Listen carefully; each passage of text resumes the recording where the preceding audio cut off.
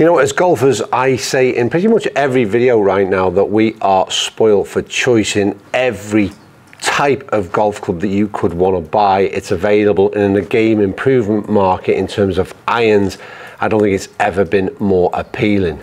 And you know, when you think about it, most of us are driven towards a certain type of iron because of a pigeonhole that we've been categorized in in terms of our handicap.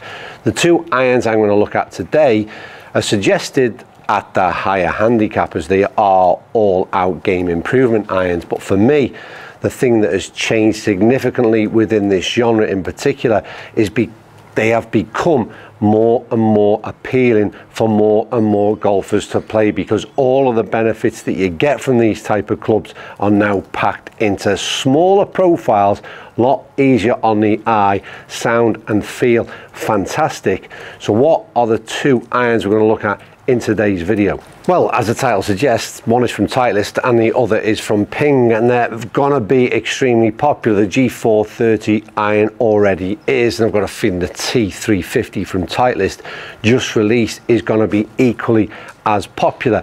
And they are after the same target group of golfers. So what we're going to try and do in today's video is try and find out what separates these two what makes them different and what might make you buy one over the other now let's shove the price point to one side for now and you're going out and buying yourself a new set of irons then like I said G430 is a possibility T350 is also a possibility the first thing for me I'm going to walk into my retailer and I'm going to look down the line and I'm going to see two very, very different looking irons.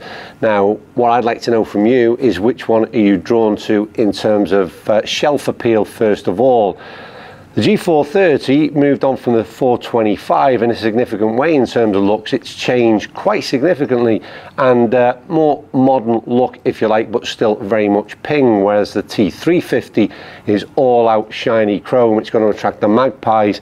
And for me, on a looks perspective alone, I would be certainly swayed towards that T350. But obviously, that's very subjective, and I'd really like to know what you think of the difference between the two and which one you'd go for on a looks perspective at least.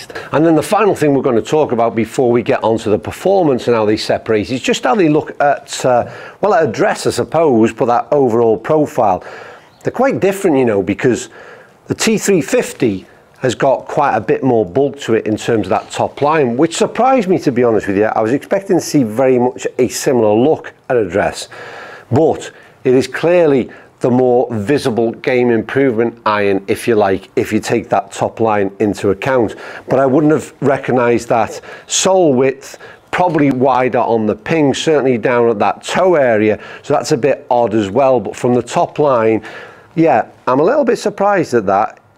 It's, uh, it's quite a bit bulky and hopefully you can see the same view. But, you know, there's no saying that those kind of things are going to make any difference in the way you decide to purchase your clubs. I don't know, but for me, I'm, uh, I'm swayed in terms of shelf appeal towards the T350. Top line, maybe more so towards the Ping. But what about in terms of performance? What do they do any difference? We've got Trackman hooked up and I'll go straight in. I'm going to hit the 350 to start. And I think that's a telling sign. I'm sort of, I'm enjoying this club right now.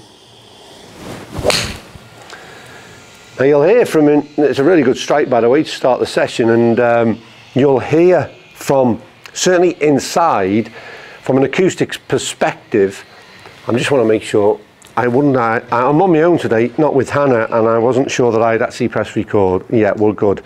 Um, quite a clicky sound still, very much different to the rest of the T uh, series lineup in my opinion, but it is, um, yeah, it's sort of accentuated a little bit in terms of that sound inside. You can hear it again, quite a click off the face. Kind of what I would expect for this kind of iron. I think it's the kind of thing that realistically, I'm not sure it's going to be play a major part in your decision making process if this is the club you're looking to buy. Now for me, I'd be looking at this, I'd be more than happy to stick this in. A seven iron we're hitting today, obviously, always a seven iron. But for me, I'm thinking I'd be more than happy with this sort of a four and five iron in the bag, which I've not tried, but I'd love to see what they do. And it's just so easy swinging.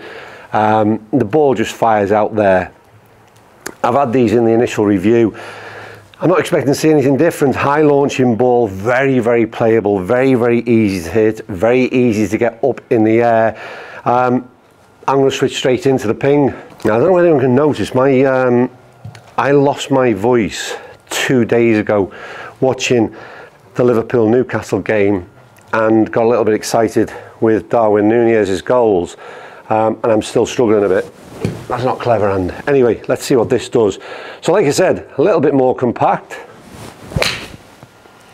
Not as good of a swing there, and now obviously to bear in mind in terms of dry ball data, these have got different shafts in them. Uh, similar sort of weights, but different shafts all the same. I'll point that out before anybody asks the question. Um, but it's a very different sounding iron. It's better. And it's, it's a weird one really for me because the G lineup of irons for years for me was so loud I didn't like the sound of them at all. And I think there was a G430 across the board whether it was drivers fairway woods or irons they paid a lot of attention to the way they sound and feel and it was massively improved. What you notice these are very very different and I said that you know for a lot of people it mightn't make any difference at all this feels still hard by comparison, and that's a description that yeah, I wouldn't be overly keen on.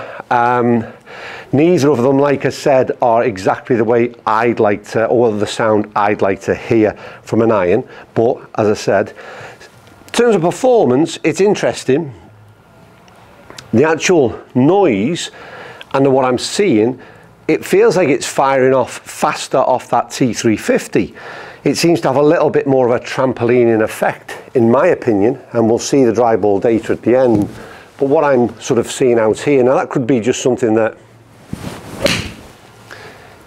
is to do with the difference in the sound. I mean, there's nothing wrong with these balls. They're, they're going down there. They're, as I've got a couple to the left, couple straight, couple right, that kind of thing. Everybody asks about dispersion. It's like, well, this golfer is all about the dispersion. Maybe not in sort of distance, but certainly in that left and right dispersion. And uh, yeah, I don't think that really tells us a great deal. Right, I think that's the last ball. In terms of whilst we're talking on camera, I'm just going to see what we did in terms of dry ball data. May hit a few more balls. But the big difference for me is the look of the dress and in performance wise what I'm seeing is that the harder face in terms of sound. Prefer even though I'm not like loving a clicky sound off irons prefer what I'm in off the 350s and in terms of ball speeds what I'm looking at and launch angles is the 350 seems to be doing it a little bit easier than what I'm seeing in the ping. So let's see if that is correct or not I'll go and walk over there and see what TrackMan tells me. Now, perhaps one important point to mention that I had uh, overlooked in terms of that sound and feel element was there is, of course, a forged face on the T350, not a forged body as such, but it is a forged face. And I just wonder how much difference that uh, is actually playing in the sound and feel difference between these two. Now, you know what? I'm going to keep it very much short and sweet because these comparison videos head to heads, they're very much just a sort of pointer in the direction in terms of what I'm finding at least. I think you know these can drag on with no real need to. So let's get straight into that data. Same as ever, I'm going to throw the averages up on screen for you now in comparison, then uh, the full data, and I say full data, only at five or six with each. Um, I'll put them up at the end if you want to sort of scrutinise.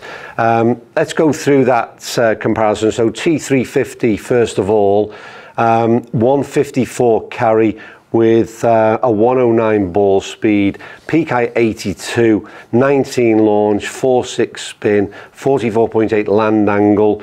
Um, I mean, I'm happy with all those numbers. Don't forget there's a strong lofted game improvement iron. Spin is expected to be on the lower side. Um, I think that's more than well, more than respectable, certainly in my hands as well, because I don't get a great deal of spin with any iron in hand. So them numbers are quite surprising in many ways. Um, the launch angle and the peak height, excuse me, is where I'd expect it to be. Um, like I said, from what I've seen, which was launching high, peak height very high, and uh, the ball's still traveling. So yeah, everything in there is pretty decent. Then move over into that G430, um, 152 carry, uh, 108 ball speed or 108.5. So ball speed and carry, not too much to separate them there. Peak height 73, that's the first noticeable difference. 17.3 launch angle, 4694 spin, and that 42 degree land angle. So the differences come in terms of basically exactly what I was seeing hitting those balls while we were on camera. Launching lower, um, then we've got that sort of launch at that peak height rather, which is lower, which also has a knock-on effect on that land angle as well. And they're key parameters in this type of test for me and in this type of genre of club in particular because I feel like they're the areas that game improvement irons are really focused on right now, and it's the type of help that uh, you and I need. So it's particularly slower swing speeds, and I think we've kept this in around sort of 75, uh, 77 rather mile an hour in terms of that swing speed. So that's on the low side, but it's still producing, certainly in that T350, a high launching ball. So we're still able to, with low uh, swing speed, relatively low swing speed, we're still launching a ball high and that peak height. And that's the kind of thing that, like I said, that we struggle with and at the AMAT. That's where the kind of real big differences between the two sets of clubs. And for me, that makes that kind of Titleist T350 a clear winner just in that aspect alone.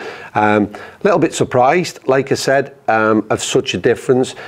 It'd be fair to ping to point out again, like I said, the difference in the shaft, and that'll play a major part. So maybe um, slightly different shaft is performing better for me in that T350, who knows. But that's what I found at least in this very short and brief head-to-head. I think that the important thing as ever is that you go out there, you try them for yourself, you make sure you get that right shaft in and uh, compare the two sets of numbers and all the other things in terms of price, looks and feel and all those bits as you would do anyway and you make your own decision from there. Right, I hope that was a help in some way, at least in pointing you in the right direction. That's a head-to-head T350 versus the G430.